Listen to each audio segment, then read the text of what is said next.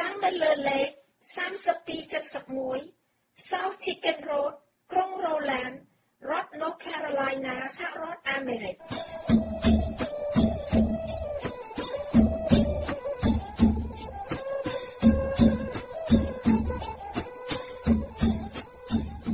វិទ្យុសំឡេងសហគមន៍បរិយអង្គរជាសំឡេងប្រមូលផ្ដុំខ្មែរជុំវិញសកលលោកដើម្បីថែរក្សាការពារវប្បធម៌ អរិយធម៌ទំនៀមទម្លាប់ប្រពៃណីនិងអត្តសញ្ញាណជាតិខ្មែរឲ្យបានគង់វង្សតរៀងទៅកម្មវិធីផ្សាយរបស់សំឡេងវិទ្យុសហគមន៍បរិយអង្គររួមមានព័ត៌មានជាតិបទវិចារណកថា និងនីតិផ្សេងផ្សេងៗដូចជា ប្រវត្តិសាស្ត្រសង្គមវិទ្យាអប់រំសាសនាវប្បធម៌និងនីតិវេទិកាសេរីលក្ខនិងលក្ខ ខ្ញ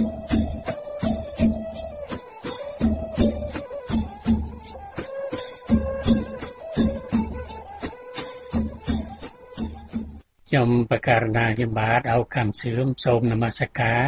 ចំពោះព្រះតេរានុថេរៈគ្រប់ព្រះអង្គជាទីសក្ការៈសូមជម្រាបសួរលោកអ្នកនាងនិងមិត្តជាអ្នកស្ដាប់វិទ្យុសំឡេងសហគមន៍រែកកជាទីគោរពរាប់អានពរទាំងឡាយ4ប្រការគឺអាយុវណ្ណៈ សុខៈពលៈសូមមានដល់ព្រះគុណចាស់គ្រប់ព្រះអង្គនិងលោកអ្នកនាងឲ្យបានសពកាលសពវេលាតរៀងទៅកុំបីក្លៀងក្លៀតឡើយ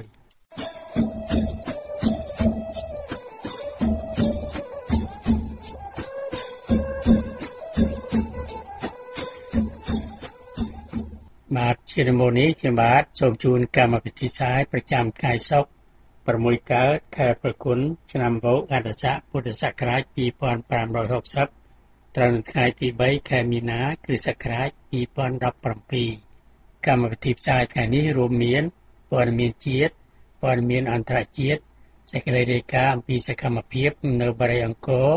ព័ត៌មានផ្សេងៗនិងបិទកម្មវិធីផ្សាយដោយការអានព្រះត្រៃបិដក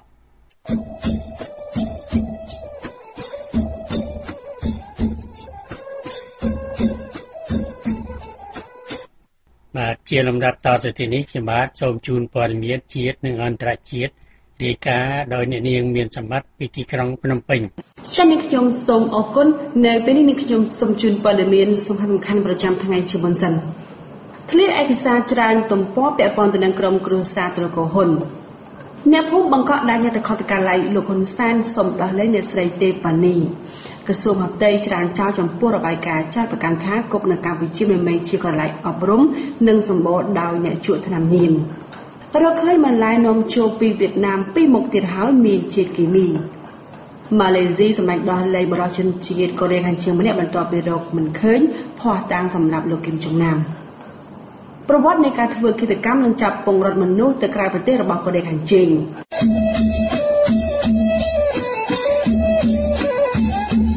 នេះខ្ញុំសូមជូនព័ត៌មានពិស្ដាសារសន្ទនាគ្នាជាលក្ខណៈឯកជនច្រើនរយទំព័រដែលភាគច្រើនពាក់ព័ន្ធទៅនឹងក្រុមគ្រួសារត្រកូលហ៊ុននិងមន្ត្រីជាន់ខ្ពស់របស់រដ្ឋាភិបាលកម្ពុជាបានបែកធ្លាយដល់អ្នកសារព័ត៌មានកាលពីថ្ងៃពុធប៉ុន្តែត្រូវបានផ្សព្វផ្សាយជាសាធារណៈនៅថ្ងៃនេះ។ ក្នុងសារឆ្លើយឆ្លងដែលពុំមានការបញ្ជាក់ពីសម័យខ្លួននៅឡើយនោះដែលមានឈ្មោះនិងលេខទូរស័ព្ទអ្នកស្រីប៊ុនរ៉ានីភរិយារបស់លោកហ៊ុនសែនលោកហ៊ុនម៉ាណែតកូនប្រុសច្បងរបស់លោកហ៊ុនសែនលោកហ៊ុនម៉ាណិត អ្នកស្រីហ៊ុនម៉ាណាលោកហ៊ុនម៉ានី អ្នកស្រីហ៊ុនម៉ាលី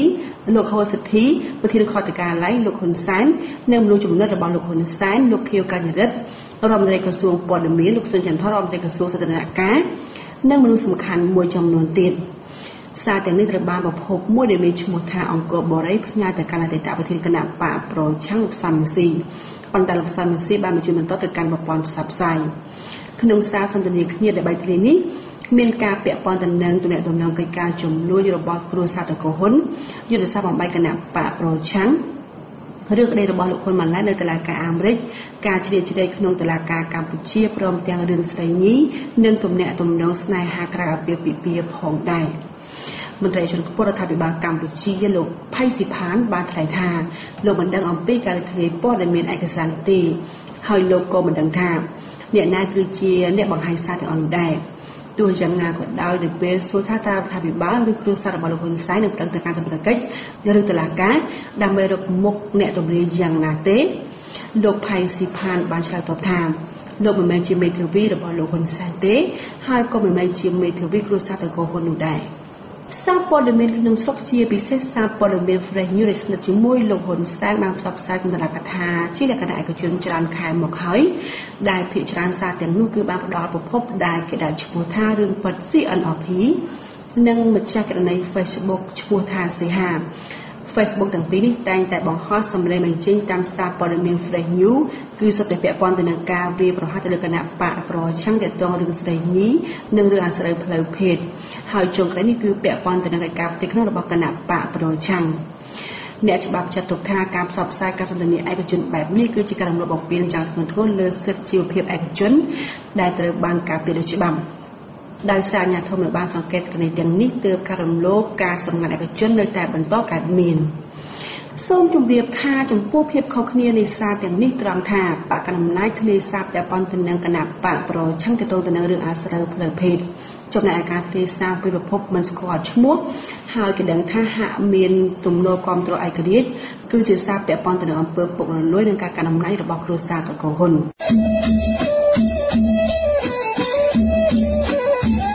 នៅព្រឹកថ្ងៃនេះប្រជាពលរដ្ឋសហគមន៍បង្កក់បានជួបជុំគ្នានៅក្រោមដើមពោធិ៍ក្បែរវត្តបតុងបតីដើម្បីដាក់ញត្តិជួបកតកាឡៃលោកហ៊ុនសែនសូមអន្តរាគមន៍ឲ្យដោះលែងអ្នកស្រីទេវវ៉ានី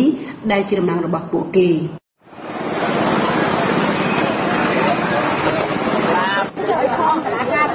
ចង់ចាំពុទ្ធសាសនាតាមការមួយម៉ាមីម៉ាមីអ្វីដែលល្អបំផុត ទៅញ៉ាត់របស់ខ្ញុំថ្ងៃនេះហើយសារសំខាន់របស់ខ្ញុំវាអត់មានអីលើសពីរាល់ដងដែលដាក់4ដងនឹងមកហើយទេគឺសូមឲ្យមានការអន្តរាគមន៍ដោះលែងទេវនីហើយនឹងទម្លាក់ការចោទប្រកាន់មកលើតំណាងបង្កក់ឲ្យក៏ដូចជាផ្ដល់ផ្ដល់ប្លង់កម្មសិទ្ធិដែលប្រជាពលរដ្ឋនៅទេសល់តែវាដល់ថ្ងៃមកដល់ថ្ងៃនេះយើងផ្លែជាងលំមុនបន្តិចដោយសារខ្ញុំនៅក្នុងញ៉ាត់នោះគឺយោងយើងយោងទៅតាមអនុសាសន៍របស់លោកនាយករដ្ឋមន្ត្រីហ៊ុនសែនដែលគាត់បាននិយាយនៅថ្ងៃទី31ខែមករាឆ្នាំ2017នៅនៅវិមានរដ្ឋាភិបាលក្នុងករណីគាត់លើកឡើងថាករណីរបស់អ្នកអ្នកបង្កក់គាត់អាចលើកយកមកដើម្បីពិនិត្យមើលបានអញ្ចឹងវាជាជាឱកាសមួយដែលគាត់គួរតែធ្វើសេចក្តីល្អសម្រាប់ពួកខ្ញុំដែលជាជាករណីដែលចុងក្រោយសម្រាប់ខ្ញុំឬអ្នកបង្កក់ណាគឺនៅក្នុងឱកាសដែលវិវាសិទ្ធិនារីចិត្តមកដល់នេះអញ្ចឹងក្នុងនាមអ្នកស្រីទេវនីគាត់គឺជាស្ត្រីម្នាក់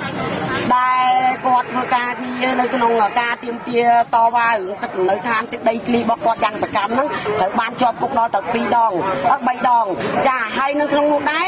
គឺគាត់គឺជាស្ត្រីមេម៉ាយក្រោយពីការទៀមទាតស៊ូរឿងនៅនៅតំបន់បឹងកក់គាត់បានលះបង់ស្ដីសុខរបស់គាត់លះបង់ក្រុមគ្រួសារហើយឥឡូវនេះគាត់កូនគាត់2នាក់ត្រូវបានមានជំងឺហើយមានម្ដាយចាស់ជរាទៀតហើយក្នុងឱកាសនេះដែរក្នុងនាមគាត់ជាថ្នាក់ដឹកនាំគួរតែសំណុំពរទៅឲ្យគាត់លើកកម្ពស់ស្ត្រីចាផ្ដល់នៅសេរីភាពរបស់អ្នកស្រីទេវនីគាត់គួរតែប្រើសមត្ថភាពគាត់ជានាយករដ្ឋមន្ត្រីធ្វើការលើកលែងទោសឲ្យអ្នកស្រីទេវនីមានសេរីភាពនិងផ្ដល់ភាពយុត្តិធម៌ឲ្យគាត់ព្រោះពេលនេះកូនកូនគាត់កំពុងតែឈឺហើយត្រូវការម្ដាយមើលថែហើយពួកខ្ញុំមិនមានអីច្រើនទេដោយសារថាករណីរបស់អ្នកស្រីទេវនីយើងបានដឹងហើយថាវាជាច្រើនដងមកហើយហើយពេលនេះអឺសូម្បីតែលោកនាយករដ្ឋមន្ត្រីក៏គាត់បាននិយាយពីបញ្ហាប្រជាពលរដ្ឋនៅតំបន់បឹងកក់ដែរអញ្ចឹងពួកខ្ញុំគិតថាពួកខ្ញុំអត់ឯកាយព្រោះពីមុនមក ពួកខ្ញុំគិតថាលោកនាយករដ្ឋមន្ត្រីហ៊ុនសែនគាត់តែបានដឹងរឿងបឹងកក់អីតែពេលនេះគឺពួកខ្ញុំដឹងក្នុងបេះដូងទាំងអស់គ្នាថាគាត់បានដឹងពីបញ្ហានៅតំបន់បឹងកក់នឹងច្បាស់ដូចនឹងថ្ងៃអញ្ចឹងហើយពួកខ្ញុំនៅតែទទូចទាមទារឲ្យគាត់អឺបញ្ចប់ចំនួនដីធ្លីនៅតំបន់បឹងកក់ជាជាងការលៀបពណ៌ប្រជាពលរដ្ឋទៅតាមអាជ្ញាធរថ្នាក់ក្រោមជាយាមធ្វើបាបប្រជាពលរដ្ឋខ្លួនឯងលៀបពណ៌ដើម្បីបំបិតព័ត៌មានទៅដល់លោកនាយករដ្ឋមន្ត្រីហ៊ុនសែនដែលគាត់គាត់ជាថ្នាក់ដឹកនាំមួយតែបែរជាទីបំផុតពេលដែលមន្ត្រីថ្នាក់ក្រោមធ្វើបាបជាពលរដ្ឋខ្លួនគាត់ជាថ្នាក់ដឹកនាំមួយគាត់បានដឹងយើងគិតមើលថាថ្ងៃដែលកាត់ទោសអ្នកស្រីទេវនីថ្ងៃទី23នោះគាត់បាននិយាយនៅព្រឹកហ្នឹងថាគ្មានអ្នកណាស្រឡាញ់ខ្មែរជាងខ្មែរស្រឡាញ់ខ្មែរតែទីបំផុតពួកខ្ញុំដែលជាស្ត្រីតើមទៀមទាតវ៉ារឿងដីធ្លីនេះត្រូវបានគេវាយគេគេវាយគេទាត់គេធាក់នៅមុខស្ថាប័នរដ្ឋមួយដែលជាស្ថាប័នមួយដែលគេហៅថាស្ថាប័នច្បាប់របស់រដ្ឋាភិបាលទៅវិញនេះគឺជាការលុបគេហៅថាជាការធ្វើឲ្យថ្នាក់ដឹកនាំខូចមុខខូចមាត់គាត់ខំនិយាយថាគាត់ខ្លួនគាត់ល្អតែទីបំផុតមន្ត្រីថ្នាក់ក្រោមមិនបានបំពេញកាតព្វកិច្ចទួនាទីទៅតាមអ្វីដែលគាត់កំពុងតែនិយាយទេអញ្ចឹងខ្ញុំគិតថាមិនចង់ឲ្យលោកនាយករដ្ឋមន្ត្រីហ៊ុនសែននេះខ្លាចជាថ្នាក់ដឹកនាំមួយដែលមិនបានតនៅក្នុងបេះដូងប្រជាពលរដ្ឋហើយបែរជាថ្នាក់ដឹកនាំមួយដែលអាក្រក់ដែលប្រជាពលរដ្ឋមិនបានគោរពមិនបានលើកតម្កើងដោយសារមន្ត្រីថ្នាក់ក្រោមរបស់គាត់ខ្ញុំចង់ប្រាប់បងឯងថាករណីមួយមែនមកបងឯងធ្វើវាទេខ្ញុំសុំទៅខ្ញុំនេះខ្ញុំអឺចាដោយសារដោយសារករណីតែមួយគាត់នេះមែនលើកអាចលើកឡើងតែមួយក៏បានដែរតែសំខាន់វាអ្នកនៅទីនេះគឺសិតតែប្រឈមមុខនឹងគុកដោយសារថាដីគឺគាត់នេះចាអត់ទាន់អត់ចោលគាត់អត់ទាន់អត់ទេចោលគាត់ចោល ឥឡូវហ្នឹងគាត់ទៅតឡាការដំបងហ្នឹងកាត់ជាប់6ខែតែអត់ទាន់ជាស្ថាបអូទេព្រោះមកអត់តអត់តនៅរក្សាសាក្រមដដែលអញ្ចឹងពួកគាត់បើសិនជាមកកពូលកពូលនៅរក្សាសាក្រមរបស់តឡាដំបងដដែលគឺពួកគាត់ត្រូវបានគេចាប់យកដាក់គុកហើយអញ្ចឹងករណីទាំងអស់ហ្នឹងគឺខ្ញុំអត់ចង់មកបើមានមួយករណីមកដាក់មួយករណីមានមួយករណីដាក់មួយករណីមានមែនទេបងវាត្រូវតែដាក់រួមអញ្ចឹងហើយតែសំខាន់ការគាត់ចាចាចាសំណុំរឿងតែមួយជាប់គ្នាមកទាំងអស់ ក្រសួងអប់រំច្រើនចោទចំពោះការចាត់ប្រកាន់ថាគុកនៅកម្ពុជាមិនមែនជាកន្លែងអប់រំគឺសម្បូរទៅដោយអ្នកជួលឆ្នាំញៀនយោងតាមលិខិតចេញដល់ក្រសួងអប់រំកាលពីថ្ងៃមិនសម្មិញបកស្រាយការចាត់ប្រកាន់ថាពន្ធនាគារនៅកម្ពុជាមិនមែនជាកន្លែងប្រព្រឹត្តបទល្មើសនិងចែកចាយឆ្នាំញៀននោះទេជាមួយគ្នានោះក្នុងចំណោមអ្នកទោសជាង5000នាក់គឺមានតែ26នាក់ប៉ុណ្ណោះដែលលួចប្រើប្រាស់ថ្នាំញៀនក្នុងពន្ធនាគារ ជាការឆ្លើយតបក្រសួងអះអាងថាពន្ធនាគារកម្ពុជាអនុវត្តទៅតាមផ្លូវច្បាប់ក្រសួងក៏បានច្រានចោលចំពោះការចាត់បង្ការរបស់យុវជនគង់រែងចាថាគុកនៅកម្ពុជាមិនមែនជាកន្លែងអប់រំគឺសម្បូរដោយអ្នកជក់ថ្នាំញៀននៅពេលចេញពន្ធនាគារកាលពីថ្ងៃទី26ខែកុម្ភៈឆ្នាំ2017លោកកុងរ៉ៃយ៉ាបាននិយាយថា ពន្ធនាគារនៅកម្ពុជាគឺមានតែការចែកចាយនិងប្រើប្រាស់ថ្នាំញៀនមិនមែនជាកន្លែងអប់រំកែប្រែពលរដ្ឋឲ្យក្លាយជាមនុស្សល្អនោះទេ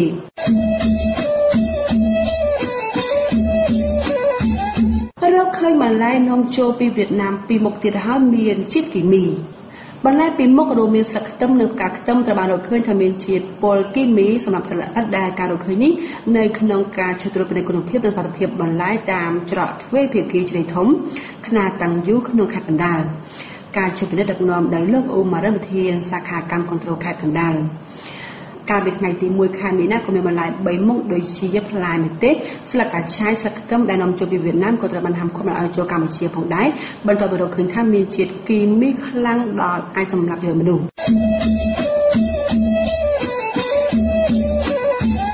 សូមងាកមកចាប់អារម្មណ៍ព័ត៌មានអន្តរជាតិវិញប្រទេសម៉ាឡេស៊ីសម្រេចដោះលែងបរិយាជនជាតិសង្ស័យកូរ៉េខាងជើងម្នាក់ដែលជាប់ពាក់ព័ន្ធទៅនឹងករណីឃាតកម្មលោកគីមចុងណាមដែលជាបងប្រុសបង្កើតរបស់លោកគីមចុងអ៊ុន នៅព្រឹកថ្ងៃសុក្រនេះប្រទេសម៉ាឡេស៊ីបានដល់លេងបរិយាជនជាតិកូរ៉េខាងជើងម្នាក់ដែលមានឈ្មោះថារីជុងជុលដែលជាជនសង្ស័យក្នុងករណីឃាតកម្មលើលោកគីមចុងណាមដែលជាបងប្រុសរបស់មេដឹកនាំកូរ៉េខាងជើងគួររំលឹកថាលោករីជុងឈុលបានខកខ្លួនកាលពីថ្ងៃទី17ខែកុម្ភៈក្នុងរយៈពេល4ខែបន្ទាប់ពីលោកគីមចុងណាមត្រូវបានគេធ្វើគេនៅឯប្រទេសយន្តហោះអន្តរជាតិកូឡាឡាំពួរម៉ាឡេស៊ី អគ្គរដ្ឋអាជ្ញាម៉ាឡេស៊ីបាននិយាយថាលោករីជុងឈុលត្រូវបានដោះលែងដោយគ្មានភ័ស្តុតាងគ្រប់គ្រាន់ក្នុងការចាប់ប្រកាន់មកលើរូបលោកមន្ត្រីប៉ូលីសម៉ាឡេស៊ីបានប្រាប់ដឹងថាលោករីជុងឈុលត្រូវបានគេរំពឹងថានឹងបញ្ជូនទៅកាន់ការិយាល័យអន្តរប្រវេសដើម្បីរៀបចំឲ្យចាត់ចែងទៅកាន់ប្រទេសកូរ៉េខាងជើងវិញ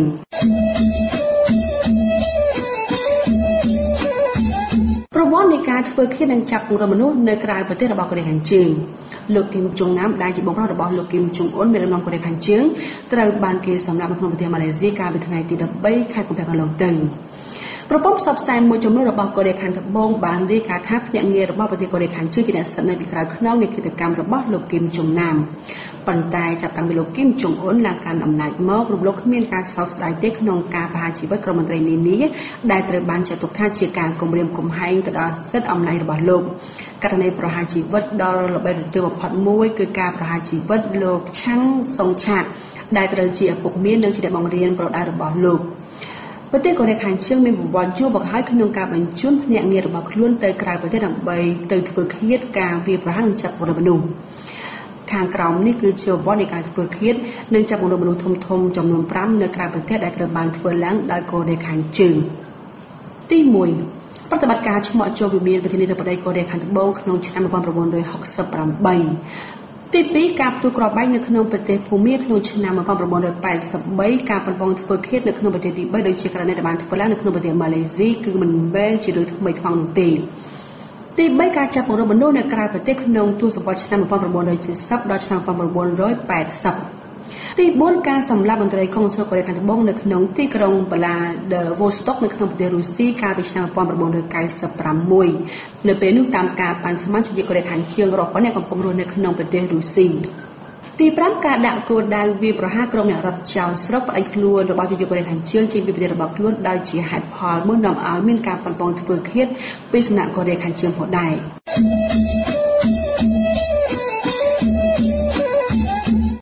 ចាសសម្រាប់ព័ត៌មានជាព័ត៌មានអន្តរជាតិពេលនេះបានឈានចូលមកដល់ទីបញ្ចប់ហើយនាងខ្ញុំមានសម្បត្តិសូមអរគុណសូមគោរពលា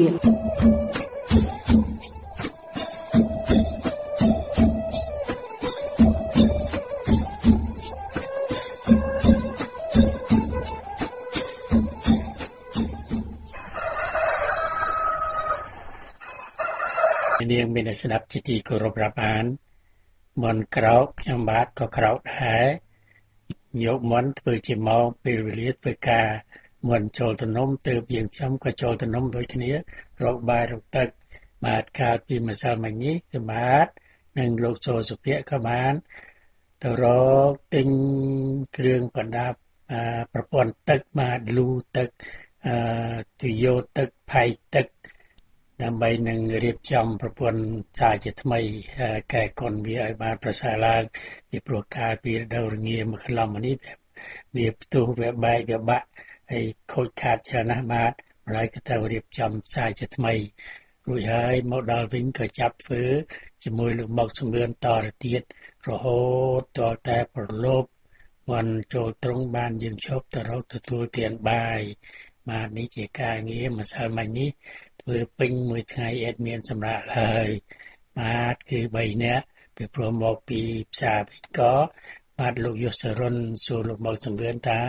លោកមិនស្រួលខ្លួនត្រូវទៅពេទ្យលោកបានវិលត្រឡប់ទៅកាន់ក្រុងឆាឡុតវិញហើយបាទលោកយុសរុនលោកអឺក្មេងជាខ្ញុំមែនប៉ុន្តែសុខភាពលោកអឺមិនសូវជាល្អប៉ុន្មានដែរបាទលើឈាមទៅខ្លះឯនោះខ្លះកំពេកកំពុកជឺដៃជឺជើង ជឺចាំងជឺចែងណាទៅទីមទៅទីមអញ្ចឹងដែរបាទឃើញថាលោកមិនសូវស្រួលសូមបួងសួងលោកបានជាសះស្បើយឡើងវិញបាទដើម្បីមកមើលការងារជាមួយយើងខ្ញុំបាទបាទនេះជាការងារដែលខ្ញុំបាទបានរៀបរាប់មកនេះក៏ឃើញថាសង្កេតបែបខ្លីត្រឹមតែប៉ុណ្ណេះពុំមានអ្វីជាប្លែកទេឃើញថាខ្ញុំបាទក៏សូមថ្លែងអំណរគុណចំពោះលោកណនហ៊ី ដែលបានបញ្ញា50ដុល្លារមកជួយកសាងស្ពានហើយនឹងអ្នកស្រីពេជ្រដាអឺលោកអឺមរ៉ាត់សវត្តសេវអឺលោកបានចូលភាគហ៊ុន3ភាគហ៊ុនលោកហើយក៏បានផ្ញើលុយបច្ច័យចំនួន3ខែ1ខែ100 1ខែ100មកបាទដើម្បីបងបន្តបង្គ្រប់សូមថ្លែងអរគុណដែរចំពោះលោក អឺអ្នកស្រីពេជ្ររំលោកពេជ្រឈិនហើយលោកអ្នកស្រីហ៊ូយិនលោកសឿងគឹមហេងបាទនៅ Virginia លោកទាំងអស់នេះបានចូល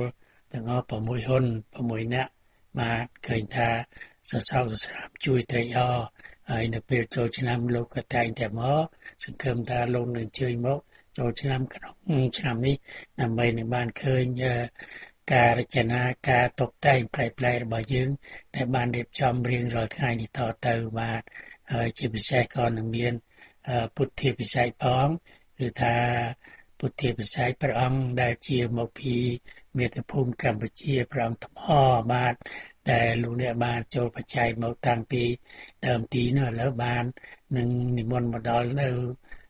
ថ្ងៃទី29ខែមេសាខាងមុខនេះហើយ ហើយយើងក៏នឹងធ្វើពុទ្ធិពិស័យគឺអភិសេកព្រះពុទ្ធរូបថ្មនឹងឲ្យទៅជាតំណាងព្រះបរមគ្រូនៃយើងគឺព្រះសម្មាសម្ពុទ្ធជាម្ចាស់បាទសូមអញ្ជើញមកចូលចាប់កសលក្នុងបនពុទ្ធិពិស័យនេះឲ្យបានកកកដើម្បីអនុមោទនាយកកសលផលផុនតាមប្រាថ្នាសូមអរគុណសូមជម្រាបលា ខ្ញុំបាទអោកម្មសឿមនៃការជួនស្ដាប់បែបខ្លីត្រឹមតែប៉ុណ្ណេះសូមអរគុណសូមជម្រាបលាខណៈនេះលោកអ្នកកំពុងស្ដាប់វិទ្យុសំឡេងសហគមន៍រ៉ែងកូផ្សាយចេញតាម website www.morayonconc.com/us បាទខ្ញុំបាទសូមជូនដំណឹងថាចាប់ពីសប្តាហ៍ក្រោយទៅខ្ញុំបាទទាំងបញ្ចូលនេតិអានប្រវត្តិសាស្ត្រ ដោយខ្ញុំបាទលើកយកឯកសាររបស់លោកសំសេកកូម៉ាពីប្រទេសបារាំងដែលលោកបានសរសេរក្នុងឆ្នាំ1997ជាឯកសារមួយដែលលោកបានផ្ញើមកខ្ញុំយូរហើយតែខ្ញុំបាទទុកមួយអន្លើទើបតែរើយកមកឃើញថាអានទៅមានសារៈសំខាន់ដល់ប្រជាជាតិខ្មែរយើងខ្លាំងណាស់ហើយនេះហើយខ្ញុំបាទក៏នឹងចាប់អាននៅឯកសារនោះអំពីអំពើឈ្លានពានរបស់យួនមកលើកម្ពុជា អំពើឈ្លានពានរបស់យួនមកលើកម្ពុជា ដោយសូមសេកកូម៉ាសូមជូនអំពើឈ្លានពានរបស់យួនមកលើកម្ពុជាបើកសិទ្ធជូនបងប្អូនខ្មែរលើពិភពលោកបោះពុំលើកទី1ប៉ារីខែកញ្ញា ឆ្នាំ1997ការផ្សាយរបស់ព្រីនគរមេតិការឿងអារម្មណ៍កថាជំពូក1ដើមកំណើតយួន ប្រភពយួនក្នុងផែនដីចិនសពថ្ងៃការកកើតនគរណាមវៀតអាណាព្យាបាលចិន ការកំណត់ព្រំប្រទល់ចុងក្រោយជាមួយចិន ជីវភាពយួនពីបុព្វកាលចំពុក2អំពើឃ្លានពៀននៃរាជវង្សយួនលើចម្ប៉ាបុព្វហេតុនិងវិធីលេបយកចម្ប៉ា ដំណើរលេបយកចម្ប៉ាវិធីគ្រប់គ្រងចម្ប៉ាឲ្យគង់វង្សសំណល់ក្នុងអតីតរាជាណាចក្រចម្ប៉ាចំពុក3អំពើឃ្លានពៀននៃរាជវង្សយួនលើកម្ពុជា ពីសម័យឧដុង្គទៅអាណានិគមបារាំងមូលហេតុនៃអំពើឃ្លានពៀនអំពើឃ្លានពៀនពីគ្រិស្តសករាជ1920ដល់1775 អំពើឃ្លានពៀនពីគ្រិស្តសករាជ1775ដល់1794អំពើឃ្លានពៀនពីគ្រិស្តសករាជ1994ដល់1835អំពើឃ្លានពៀនពីគ្រិស្តសករាជ1835ដល់1847អំពើឃ្លានពៀនពីគ្រិស្តសករាជ1847ដល់1862 វិធានការរបស់យួន ចំពោះ4អំពើឃ្លានពាននៃបកកុម្មុយនីសយួនលើកម្ពុជា ចំនួនខ្មែរយមិញខ្មែរក្រហមសិង្ហមិញទូសមុទ្រសាឡុតសពីសម័យអាណានិគមដល់សម័យឯករាជ្យការប្រឆាំងរបស់យួនចំពោះអាណានិគមបារាំងហូជីមិញសកម្មភាពនៃជនកុម្មុយនីសអាស៊ីម្នាក់ គោលនយោបាយនៃបកកុម្មុយនីសយួនលើកម្ពុជាមូលដ្ឋានយេមិញនៅភាគឦសាននៃប្រទេសសៀមសកម្មភាពយួនយេមិញនិងខ្មែរយេមិញនៅកម្ពុជាយេមិញបង្កើតរណសេរីឯកភាពឥស្សរៈឲ្យខ្មែរយេមិញបង្កើតគណបកប្រជាជនបរិវត្តកម្ពុជាឲ្យខ្មែរឱកាសល្អមួយសម្រាប់កម្ពុជាដើម្បីដកខ្លួនពីយេមិញ ការចូលបន្តវេនបរិវត្តនៃក្រមសឡុតសចំពោះ5អំពើឈ្លានពាននៃបកកុម្មុយនីសយួនលើកម្ពុជា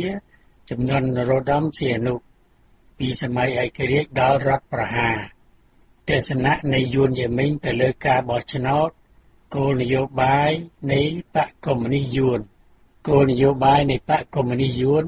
ទៅលើរបបសៀនុគោលនយោបាយរបស់សៀនុជាមួយប្រទេសកុម្មុយនីស និងសកម្មភាពយកុងក្នុងរាជាណាចក្រខ្មែរការប្រជុំមុខរបស់រដ្ឋាភិបាលលន់នល់ជាមួយយកុងនិងយួនខាងជើងចំពោះ6អំពើឈ្លានពាននៃបកកុម្មុយនីសយួនលើកម្ពុជា ចំនួននរោត្តមសីហនុបូកនឹងសឡុតសដោយមានការជុំជែងពីចិននិងសូវៀតពីសម័យរដ្ឋប្រហារដល់ការរលំនៃកម្ពុជាប្រជាធិបតេយ្យ 1970 1979 ចំហាយសង្គ្រាមយួនអត្ថន័យនៃសង្គ្រាមនៅកម្ពុជាក្នុងឆ្នាំ1970ឱកាសល្អសម្រាប់ឲ្យយួនកុម្មុយនីសចូលឈ្លានពានកម្ពុជាដោយចេញមុខចំពោះ7អំពើឈ្លានពាននៃបកកុម្មុយនីសយួនលើកម្ពុជា ចំនួនហេងសំរិនជាស៊ីមហ៊ុនសែនប៉ែនសវណ្ណដោយមានការជុំជ្រែងពីសូវៀត ពីពេលរលំនៃកម្ពុជាប្រជាធិបតេយ្យដល់រដ្ឋប្រហារនៅថ្ងៃទី